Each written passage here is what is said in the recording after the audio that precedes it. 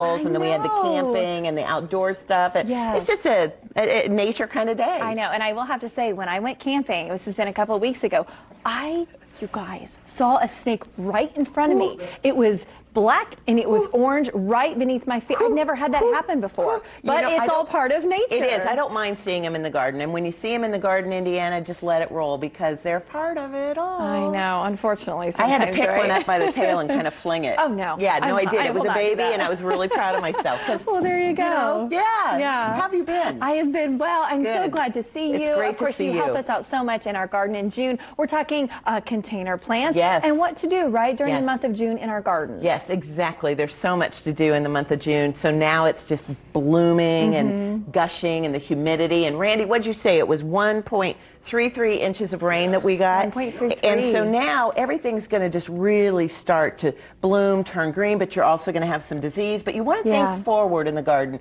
You know, the 4th of July weekend, all those family barbecues, all the fun summer entertaining. Mm-hmm. You want to get those containers ready. Okay. And when you start, you want to be sure you pick the right container. This one is the wrong container. Oh. Why? There's no drainage hole in Oh. I the gonna say bottom. no hole. There's Now, no can you- hole. can you drill can. holes? Yeah, if you get the right bit. My husband's in the studio today, Chris I know, I Petty. saw And if you get the right bit for ceramics or whatever the container is, you can drill holes in the bottom. Sure. Okay, very and then you want to put a little drainage in the bottom. You want to fill it with soil, but there are three tips.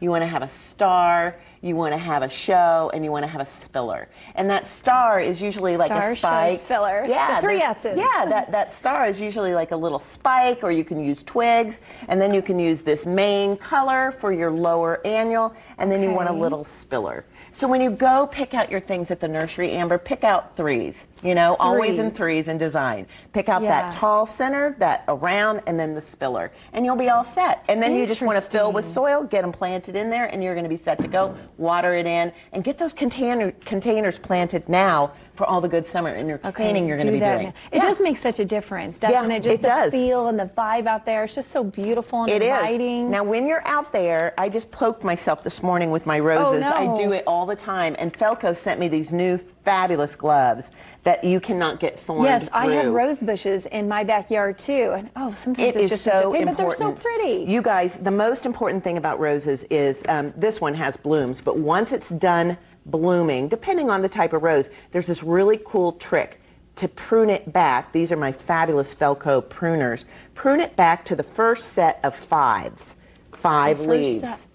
That isn't that the best oh. tip?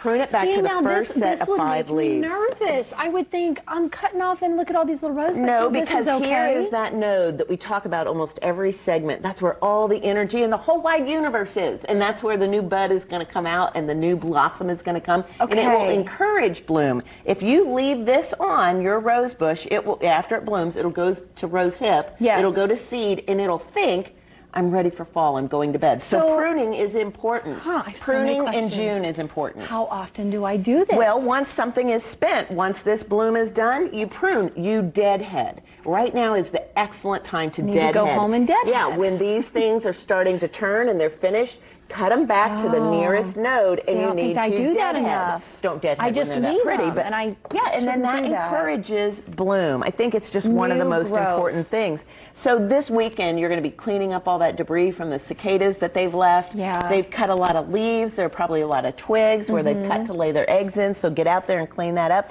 If you're traveling this weekend, make sure that you collect really great garden things on your travels. This is from my trip to Washington, D.C., and this is a fabulous book on Mount Vernon's history of the gardens That's there and the history of the American gardens. These are wonderful books to collect in your Yeah. library, and it gives you sort of inspiration for why we Inspiration, garden. I love that. And if you're doing anything fun this weekend, like Pride or Jubilation, make sure you use your garden. Use it like we did in Alchemy and the cocktails, Yes. but maybe do it in your hair. You know, for a little black tie, hair. or when I you're dressing that. up for Carrie, we gotta wrap this up already. I know, isn't it fun? We always have so much fun. I, feel can't wait for the weekend. I hope you guys all have a beautiful Ah, gardening weekend. Carrie, we love you.